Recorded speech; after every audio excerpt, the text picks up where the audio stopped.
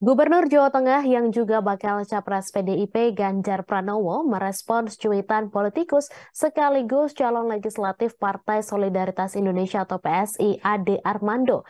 Dalam akun Twitternya, Ade Armando mengatakan ada kontrak politik antara Ganjar Pranowo dan Partai Demokrasi Indonesia Perjuangan atau PDIP. Kontrak politik tersebut yakni menteri yang bakal membantunya di kabinet bila terpilih nanti ditunjuk berdasarkan persetujuan PDIP.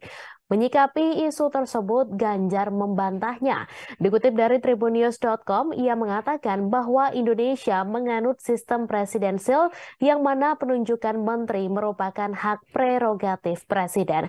Sebelumnya, teken kontrak politik antara PDIP dengan Ganjar diungkapkan politikus PSI Ade Armando. Ade mengklaim jika dirinya mendapat informasi bahwa posisi strategis nantinya akan ditentukan PDIP bila Ganjar menjadi presiden. Dalam cuitannya, Ade menegaskan hal tersebut perlu segera diklarifikasi karena info yang sudah beredar luas.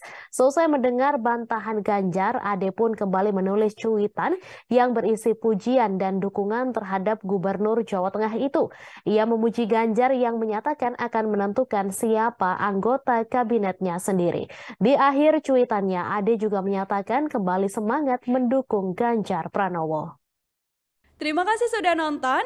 Jangan lupa like, subscribe, dan share ya.